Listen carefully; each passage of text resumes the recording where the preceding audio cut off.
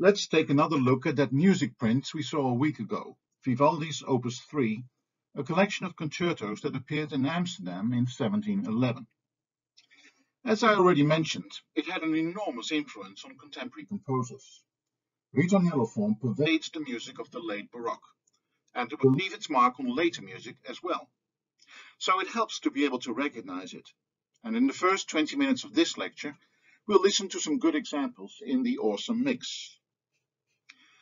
The ritornello was a formal convention so firmly established and so universal at this time that composers could take its recognition and understanding by listeners for granted.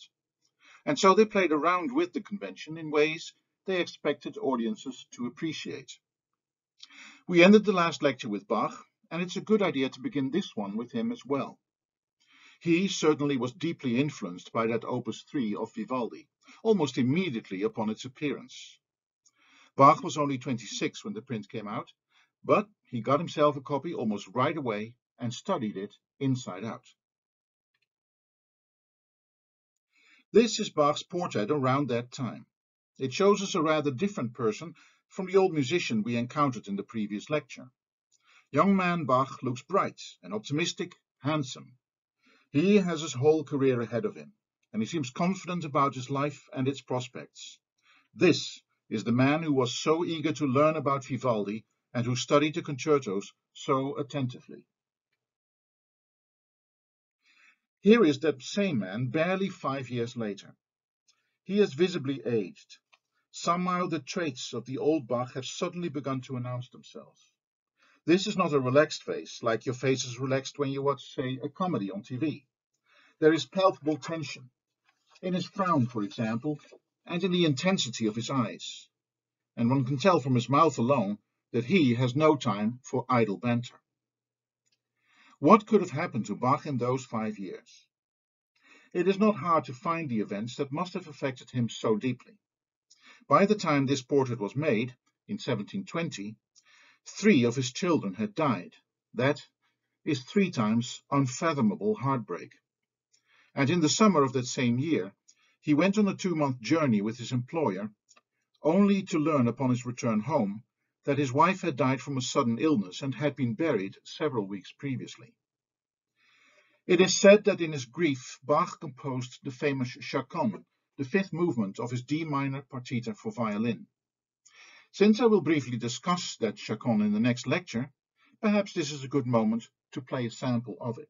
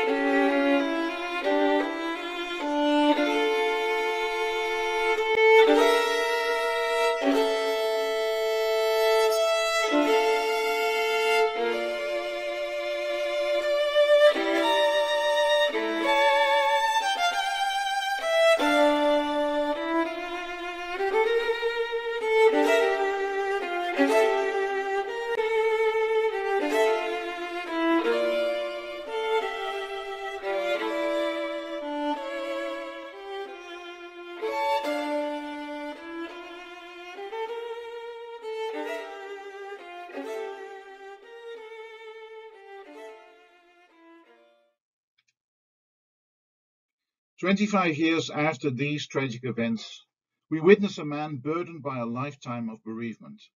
Of the 13 children he was to have with his second wife, no fewer than seven had passed away, some on the day they were born, several others at the age of about four or five.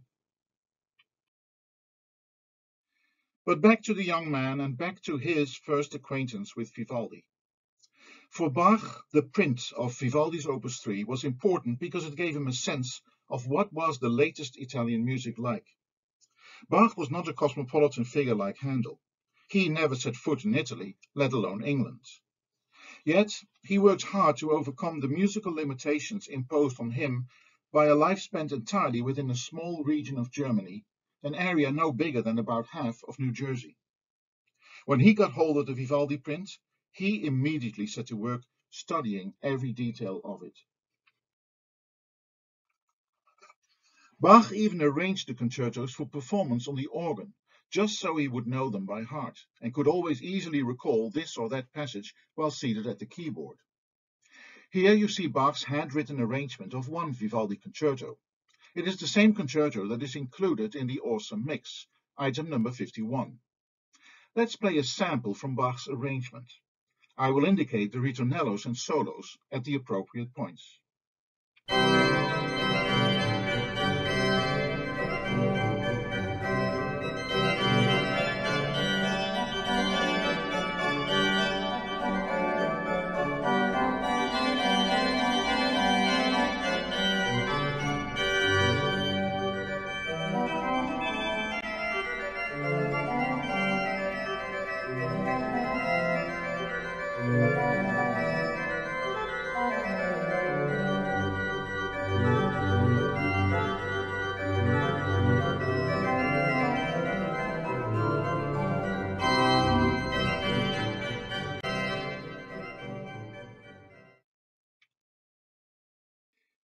Here are the pages about Bach in your textbook.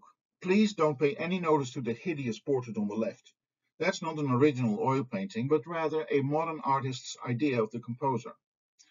More useful is the picture top right, which shows the Church of St. Thomas in Leipzig, where he spent the last 27 years of his life. And there is another important picture eh, on the right-hand page, a painting showing Bach with three of his sons. Although Bach lost no fewer than 10 children altogether, he did raise several of his boys to adulthood as professional musicians. Several of his sons would become influential composers in their own right. His youngest child was in fact a defining influence on Mozart. That youngest child was Johann Christian Bach, one of my favorite composers of all time, about whom I will have a lot more to say in the next lecture.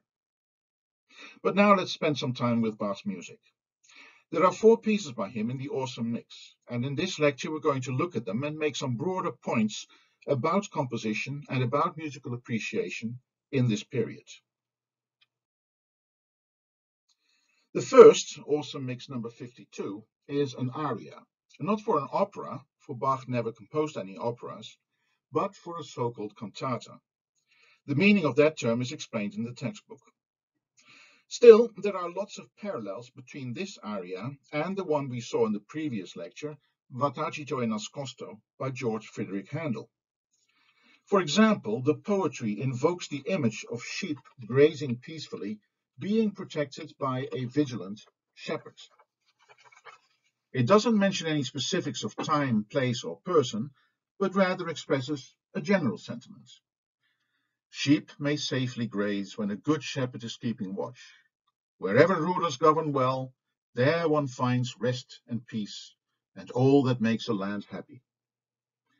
One could sing this aria to praise a particular ruler for keeping his people safe, like the good shepherd he is. But it could also be about a city, say, or about a past society. Then there is another parallel, one which at this time is no more than to be expected, the ritornello solo form. This is the formal principle that shapes the creative thinking of every composer in the late Baroque. Let's have a look at the A section of Bach's aria, that is, the first of the three sections labeled ABA in a da capo aria. Four ritornellos marked R lay down the broad canvas. Ritornello means little return, as I said before, and what returns is the theme of the ritornello, which I label here as lowercase letter a. This time the ritornello is very modest indeed. It is not written for a full string orchestra, but for two flutes, in addition to the omnipresent basso continuo. That is really chamber music size. Here it is.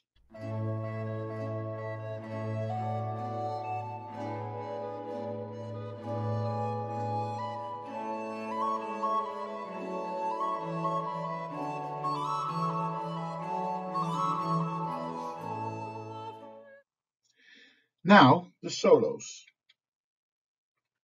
They are for one vocal soloist, so the difference between ritornello and solo should be easy to tell. It's either two flutes or one singer.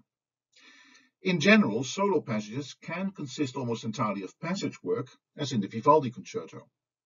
But they may also allude to the theme of the ritornello and even state a long stretch of it, as in the Handel aria. or they can have their own theme, and that is what we see here. The solos in Bach's arias aria have a beautiful lyrical melody quite different from the flute's busy work in the ritornello, a melody that unfolds leisurely and that I will call theme B.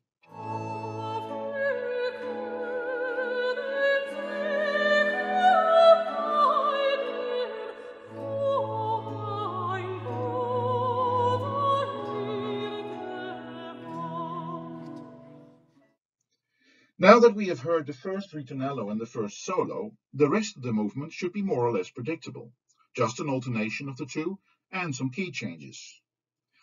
But actually Bach is not content with the kind of simple alternation that is ritornello form.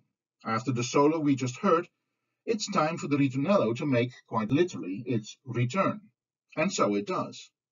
Except the soprano doesn't stop, but keeps going with its own lyrical melody.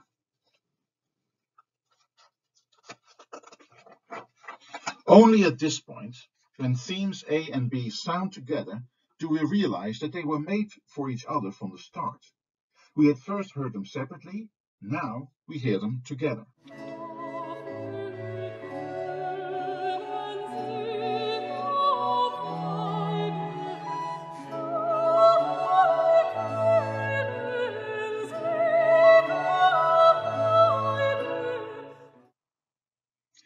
After this, the normal alternation continues. First solo.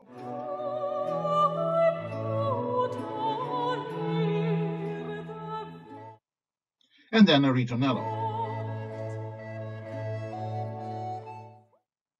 But now we will get another overlap of themes A and B.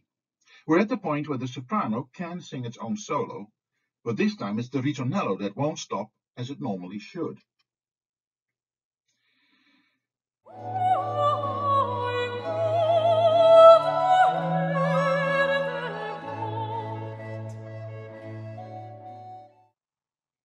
The recording in the awesome mix is actually an arrangement for piano, not unlike Bach's own organ arrangement of Vivaldi's Opus 3. So the pianist has to play the three instrumental components, solo voice, two flutes, and the basso continuo, and to do that in a way that you can still quite clearly hear the structure as I just outlined it. Let's listen to his version and follow it along with the diagram.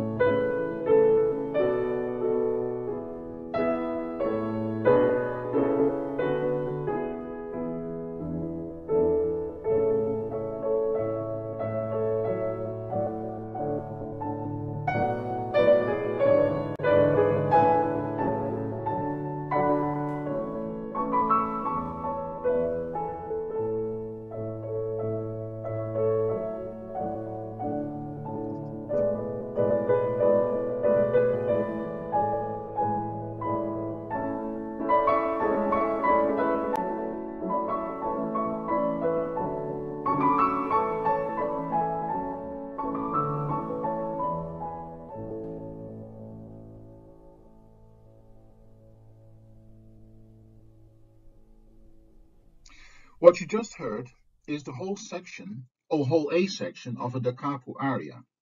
After this comes the B section in a minor key, and then the whole A section will be repeated.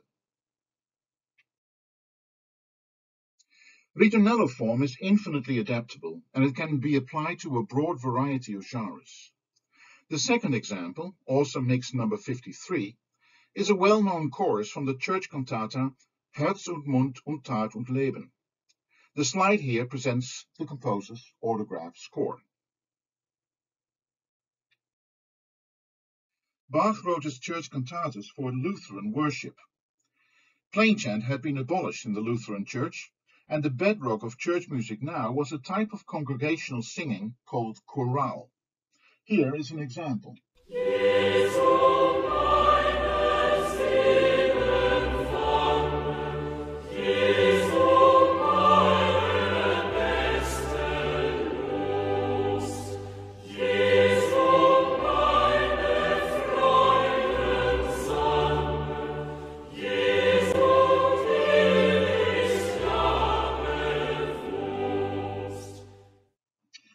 Typical chorale. Simple and tuneful, everybody can sing along whether they can read music or not.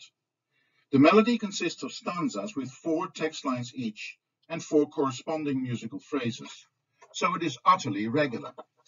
You could sing such a chorale with the whole congregation for voices alone. But in this case, Bach wanted to do something more fancy, something like a Vivaldi concerto, let us say. So the first thing he will need is a basso continuo. Then he has to decide what to do about ritornellos and solos. His answer in this case was to split the four phrases of the chorale and to distribute them equally as solos. So let's forget about their original numbering and label them all S for solo. Now the only thing that is left to do is five ritornellos. But that is not nearly as much work as it might seem, since ritornellos by definition play one and the same musical theme. So all Bach really needed to do was to come up with that theme. Then the five ritornellos would more or less write themselves. But let's go back to those solos, the sections marked S. What do they sound like in the composition? Well, let's begin with the first phrase of that chorale, which ended up becoming the first solo of Bach's musical setting. In the chorale, it sounded like this.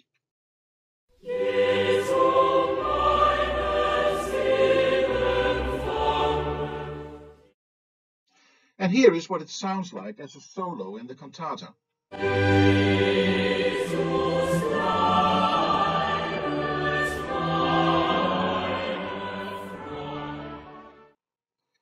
The ritornello, on the other hand, is quite different in style. Judge for yourself.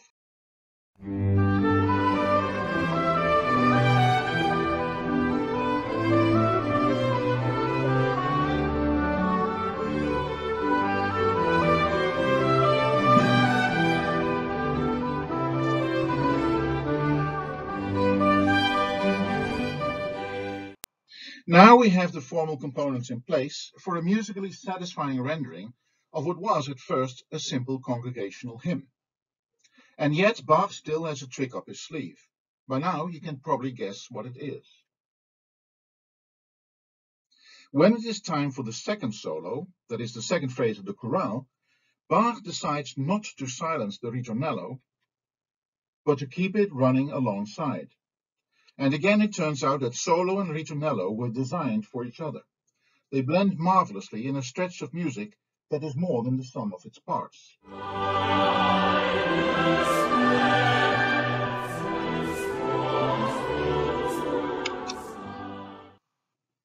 To see how it all comes together, let's now hear a longer stretch of the piece played in one go.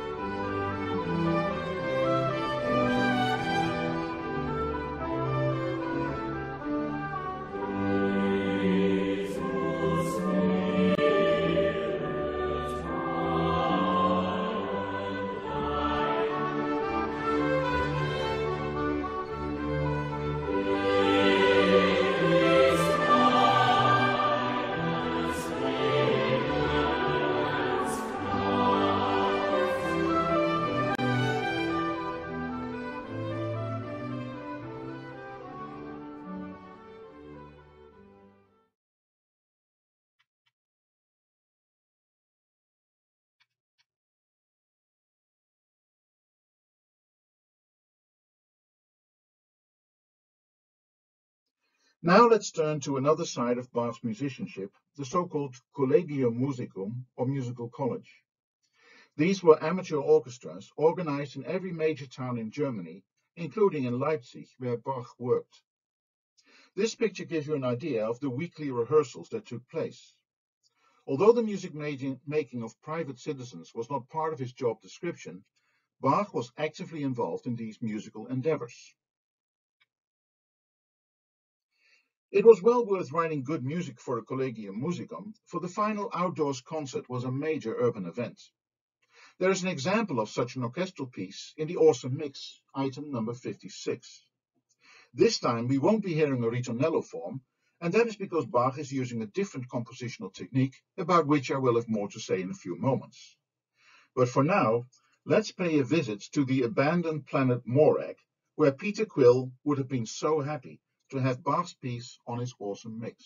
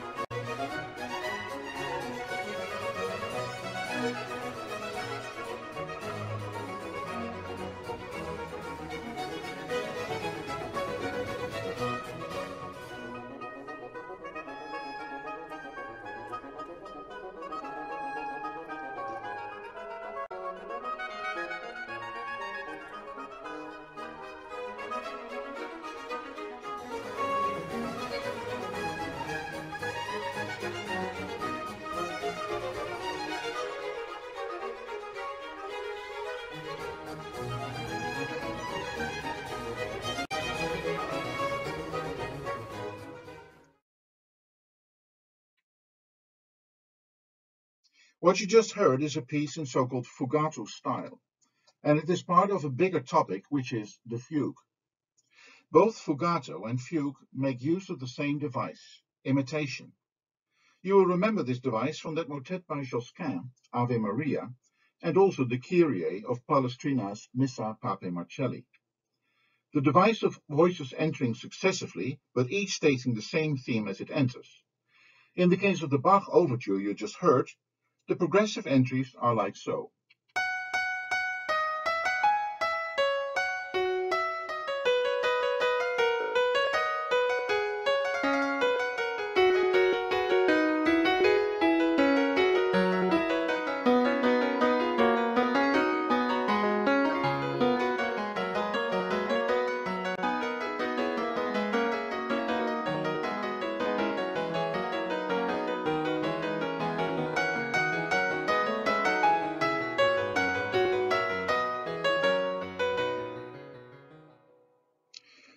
Difference between fugato and fugue is really one in character. Pieces in fugato style are light and fleeting, and they use the quick imitations to maintain a sense of rapid pace. The Bach Overture is a good example, because it is all about being light and airy. A fugue, on the other hand, is a serious and learned composition. I will come back to that later. First, let's pay a visit to another awesome mix item, number 47, by a composer who should be familiar to you, Arcangelo Corelli. His trio sonata gives you another idea of what fugato is. This time I'm going to display the score and mark each entry of each voice with dotted brackets as you hear them. The term trio sonata is sometimes confusing. There are two solo violins, and they are accompanied by a basso continuo. Now, since a basso continuo is usually played on two instruments, you would end up with four instruments altogether. So why call it a trio? You can see the answer in the score. There may be two instruments, but they need only one stave. You can call it a quattro sonata, but somebody is going to protest that they see only three staves. There's no pleasing some folks.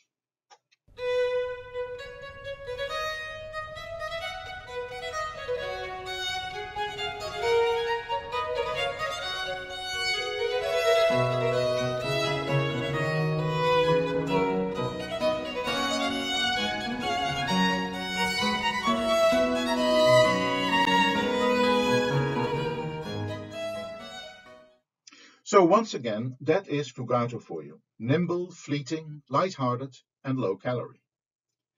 But when we talk about fugue, we step into a different world altogether, a more serious world. You may remember that we had a quick peek into that world a while ago when I tried to explain the literal meaning of imperfect. This, this is the last work Bach composed in his dying days, the so-called Art of Fugue, item 58 in the awesome mix. It is a collection of fugues demonstrating a vast range of compositional possibilities in this genre.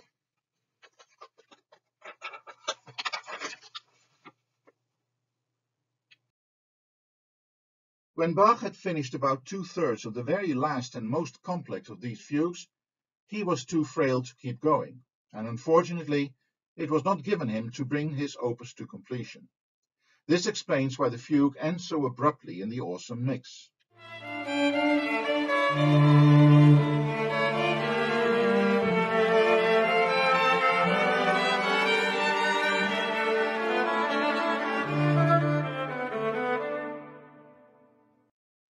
Many musicians and musicologists have made their own completions of the fugue. Just go to YouTube and you'll hear lots of them. So, what is the significance of the art of fugue for this course? Why did I decide to include it in the awesome mix? It has to do with what the fugue represents. The fugue develops the idea of imitation that we have seen in Josquin and Palestrina, but not in order to create nimble and fleeting pieces of dance music, but rather to offer the equivalent of a rich wine of excellent vintage, something that will be appreciated by people who are knowledgeable in music. So age has something to do with it. Fugues were written in a style known at the time as stile antico, Italian for ancient style. It didn't matter to experts that this style wasn't fashionable. On the contrary, the very fact that it was ancient, that it went back as far as Palestrina and beyond, gave it an aura of antiquity and venerable authority. Fashions may come and go, but this style, or so many musicians felt, will last forever. Of course, the style is not for everybody. So there was an important distinction associated with it, which is known by the German terms Kenner und Liebhaber. There are those who understand, and they are the Kenner, or connoisseurs in French. Fugues are for them, because they have the knowledge and experience to appreciate their complexities. And then there are the Liebhaber, those who love. The word amateur literally means somebody who loves, though we associate that word now with limited competence. But in the 18th century, there was no shame in being an amateur or Liebhaber. You love music after all, and that cannot be a bad thing. Historically, this is where the ultimate roots lie of a course like Music 103. The idea is to help people understand music that is thought to require understanding. In practice, that always means the Western classical tradition. Because classical music, or so the conventional wisdom says, is for educated people. And there's a number of things about it that can be explained and that are thought to help musical appreciation. As opposed to, say, rock music, which you can enjoy without wondering whether you can understand it or not. Part of me wants to say that's bullshit. But on the other hand, I'm reminded of my own parents who came from working class families and had never been exposed to classical music in their childhood. By sheer chance, my father got an education, and so my parents became middle class. All of a sudden it fell to them like a social handicap that they knew nothing about classical music and could not have an intelligent conversation about it. They would have loved to take a course like this and perhaps learn how to understand a fugue. But the question here is why? Why did it suddenly become so important to write complicated fugues, to cultivate a stile antico, and to require understanding on the part of listeners? It is to do with what I described a while ago as the decline of magic. When musical sound is nothing but vibration of air, and when there is no point in listening to it if there is no text to justify the experience, then why would we even bother? There is an emptiness in musical sound that had never existed before. It needed to be filled with substance. And that substance was intelligible content. And the person to give it that substance was the composer. So, if you are listening to a first-rate composer, and if the work happens to be a masterpiece of complexity, then it doesn't matter that the sounds by themselves are merely variations in air pressure. You could perhaps invoke the analogy with architecture. Personally, I love the John Hancock building in Chicago, but that's because of the design, not because the steel and glass mean anything to me in particular. The art of fugue provides a good illustration of this, because Bach didn't actually specify what instrument it was for. On the awesome mix, you hear it performed with a string quartet but you also hear, often hear it on the organ or the harpsichord. If Bach was that indifferent to what instrument we should play it on, it can only mean that this was not about the quality of the sound, but about the compositional substance, the abstract conception. So what is this substance, you may ask? In the fugue, it is a series of compositional challenges that can be met only with great ingenuity and creativity. Listeners can appreciate the composer's effort when they appreciate the challenges he was facing. And the composer can step up the difficulty as if to emerge ever more victoriously after each new challenge. Let's go to that final fugue, the unfinished one, in Bach's Art of Fugue. A fugue begins with an imitation, a theme that enters successively in different voice parts. Here the bass is the first to state it, in its first appearance, the theme is called the subject.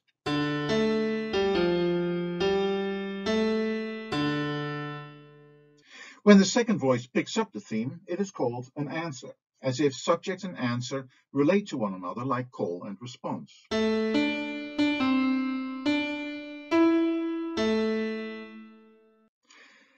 After this, the remaining voices do the same, while the first two voices keep going with freely invented counterpoint. First, another subject.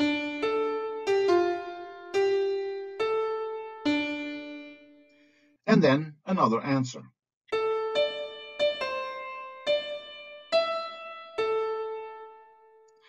And when all four voices have had their say, the composer has completed what is known as the exposition. The exposition is an opening section with no other purpose than to present the material from which the rest of the fugue is put together. But after that exposition, what are you going to do? Essentially, a composer has no choice but to do the whole thing again. Another sort of exposition, but now in the course of the movement. But that in itself is no greater challenge than what we started out with. So, to make things more difficult, Bach is going to use a device known as inversion. Essentially, the theme is flipped upside down, so that upward motion becomes downward motion and vice versa. On the second page of the score, we see this happening in the bass.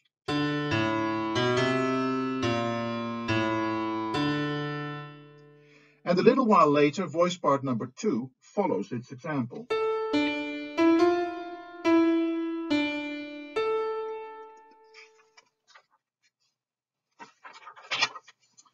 Then on the third page, there is another device, stretto, Italian for narrow or tight. This time, the voice parts don't patiently wait their turn until the preceding parts are finished, but they enter much sooner, so that the themes start to overlap.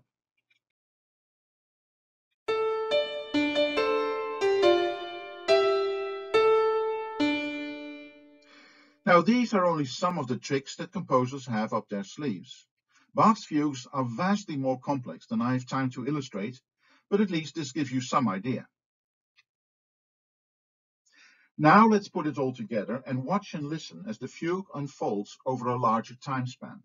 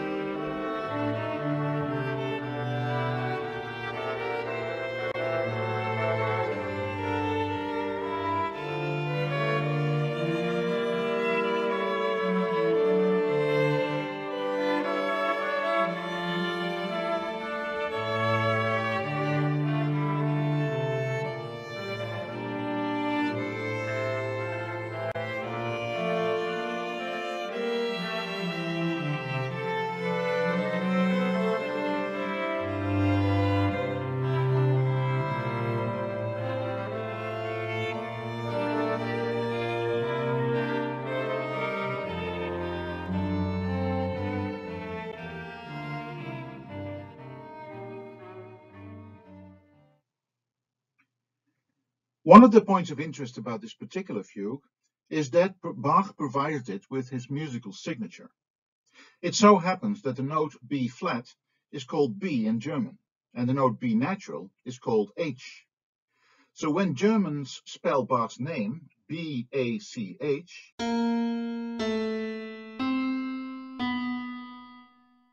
they hear what we would describe as B flat, A, C, B natural.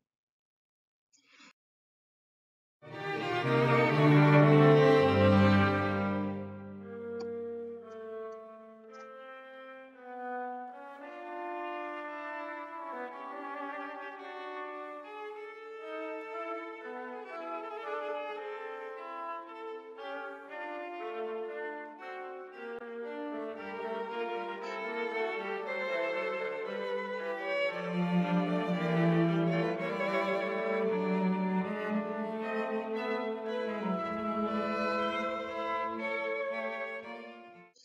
As you can tell, it was quite doable for Bach to sign his fugues by taking the four-note theme corresponding to his own name and then using that as the subject for another fugue. Towards the end of the awesome mix item, you can clearly hear that moment where he shifts to the new theme, which was evidently meant to conclude not only this particular piece, but the whole opus that is the art of fugue and the whole opus of what had been his life.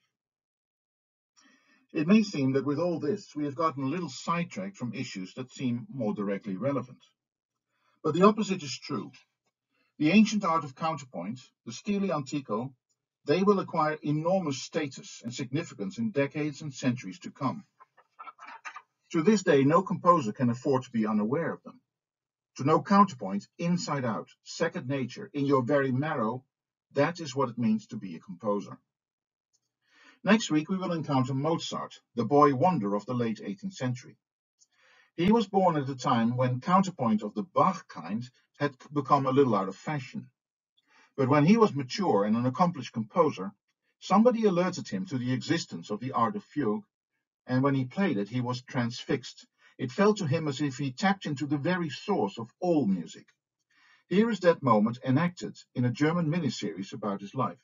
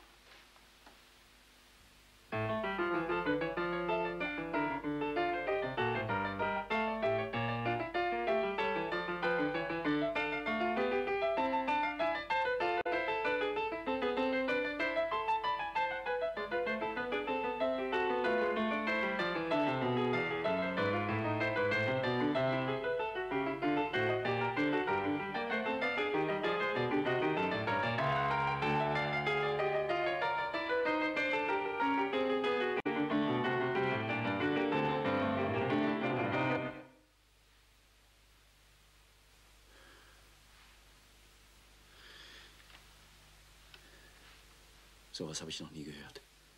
Wo haben Sie das her? Ich bin sicher, das ist noch nie gedruckt worden. Ich habe es in Leipzig kopieren lassen. Dort befinden sich alle Partituren von Bach. Wunderbar. Es gibt nichts Neues, außer dem Alten. Haben Sie noch mehr davon? Kann ich mir das mal ausleihen? Ich möchte es kopieren. Hier gibt es etwas zu lernen. Das Ungeheure ist diese Stimmenführung, diese Ausgewogenheit. War er wohl auch ein Balancekünstler? Nein, Bach brauchte kein Publikum. Hat für sich geschrieben. Allein. Er brauchte kein Publikum. Er nicht. Beneiden Sie ihn?